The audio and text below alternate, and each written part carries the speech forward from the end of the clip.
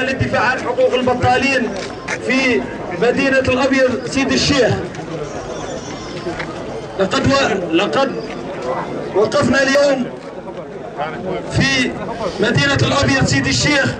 هذه المدينة التي رصيدها حافل بالثورات ثورات ولاد سيد الشيخ وثورات الشيخ بوعمامة لكن بعد مرور خمسين سنة من الاستقلال لم تنل هذه المنطقة إلا التهميش والحجرة والإقصاء المقصود.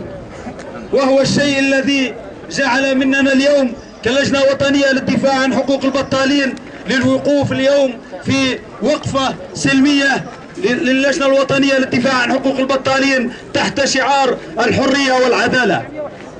نحن اليوم نقف لنطالب بحق المطالبة بحقنا الدستوري من حرية وعدالة.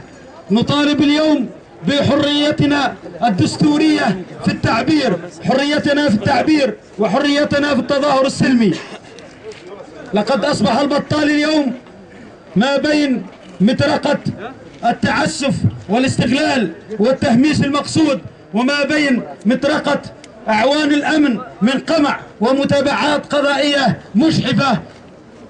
لا لشيء هو لا لشيء وهو السبب الوحيد الذي جعل هذه كل أنواع التحرشات الأمنية أو قمع متابعات قضائية على خلفية تعبير البطال المسكين على سخطه من معاناه من المعاناة جراء البطالة.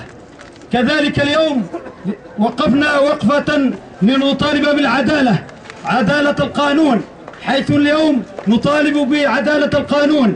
العدالة التي يتساوى فيها الرئيس والمرؤوس عدالة يتساوى فيها بين الراعي والرعية. نحن اليوم وقفنا اليوم لنطالب بدولة العدالة ودولة القانون. في من خلال وقفاتنا المتتالية عانين عانينا من كل العراقيل التي التي يتربصون بها من من من مكان إلى مكان. اللجنة الوطنية للدفاع عن حقوق البطالين خرجت خرج الطالب بالعمل لا لشيء والعيش للكريم. لكن وصفونا بكل بكل أنواع كل التشبيهات والاتهامات المغرضة. الغرض منها هي كسر حراكنا السلمي. إحنا رانا ما طالبين والو طالبين حقنا الدستوري في العمل.